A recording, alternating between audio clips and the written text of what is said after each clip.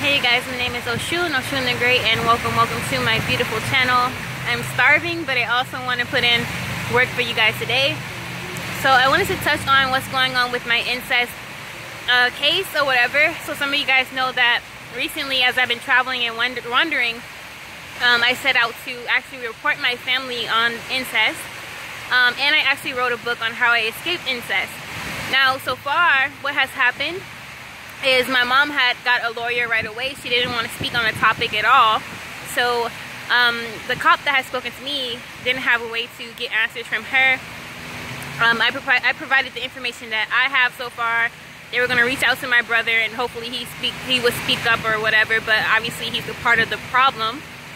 Um, so so far, um, obviously my family have they're going off opting off the fact that not the fact, but they're trying to play off the off of me having a mental illness. And these are some of the trials or, or things you can endure if you are thinking about speaking up about incest. Um, right away though for me when my mother got a lawyer that was guilty as shit. So obviously they you know they are still being protected. All my family all of a sudden wanted to reach out to me. Family that I never spoke to um, and shit wanted to get in my business. But I cut that off right away. Um, it's funny because over the years, um, the only kind of mental illness or anything that I've ever dealt with is, is, with is anxiety and depression. Now, from the situation that my family has did done to me, I have developed a lot of issues for my everyday life, like PTSD, not being able to trust people, and so forth. Um, and ever since I left my family, I've just been wandering and learning how to survive on my own. Um, oh, okay, so with that being said, um, so yeah, that's what's happening so far. And the mental illness shit is really a slap in my face because instead of standing up for what they did, admitting their wrongs, um, they that means they feel justified in what they did to me. Um, and and they is my mom, my brother, my father. All of them was were in on this together. And um, now they're trying to say that oh she has a mental illness. But when all the years I was even going to my mother about mental health, she would always say, "Oh, you're fine," or "Oh, you know, it's just uh, other than hypo my her her own self-diagnosed hypochondria."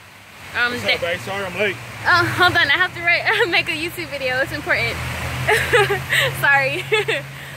okay, so sorry, you guys.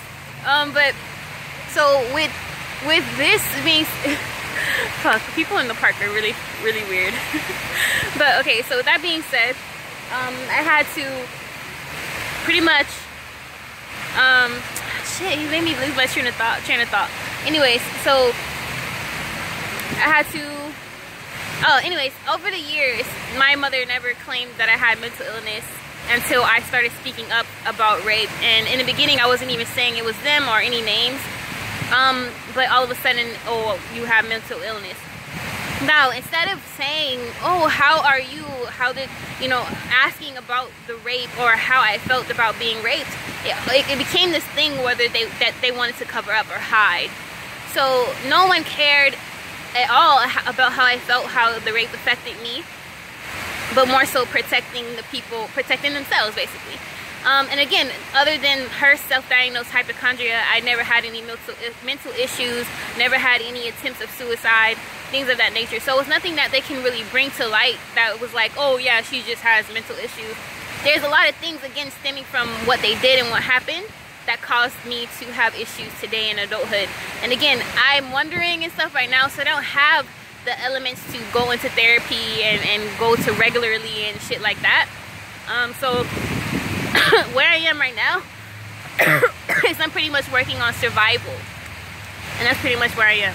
but yeah, with that being said, um, hopefully this just kind of catches you guys up what's going on about my incest case. And for those of you who are looking to speak up in your own cases, um, hopefully this helps. But yeah, be dope, be unapologetically. Peace.